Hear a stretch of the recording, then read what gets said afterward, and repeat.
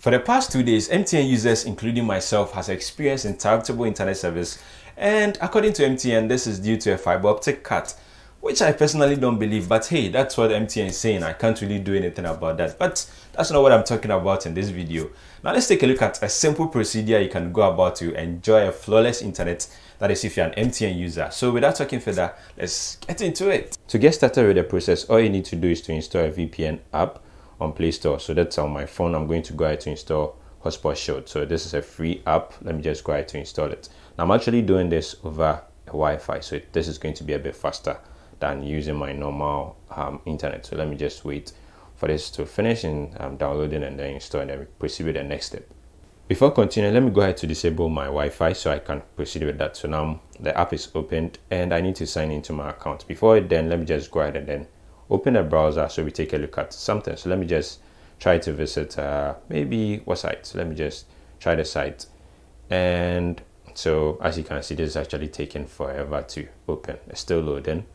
It's still loading. Oh man, this is way slow. So let me just go ahead and close it and come back to my Hotspot Shield. So I'm supposed to log into my account. So let me just go ahead and then do that. So this is going to be off screen and then let me just do that. Go ahead and type my credentials go ahead and then sign in. And I should be in business right? So I'm signed in into my account.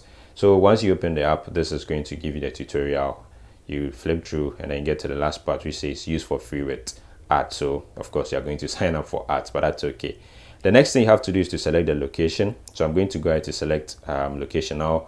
I probably would want to use a US so basic limited under US is fine. So let me just leave it at and then go ahead to turn on the Hotspot Shield. Now it's going to ask me to enable usage access for it. So I'm going to go ahead to select that and then allow usage access. And right after that, let me hit on, turn it on again. This should take some few seconds and I should be in business. So after doing that, I'll go back to my browser and then I'm going to open the site again and again, then you get to see that. So let me just wait. Okay, so it's connecting now. Uh, right, so that's it. Let me come back here, open my browser and yeah so that's the ad i did sign up for but that's okay that's fine. So let me just uh, um, see if i can get rid of this.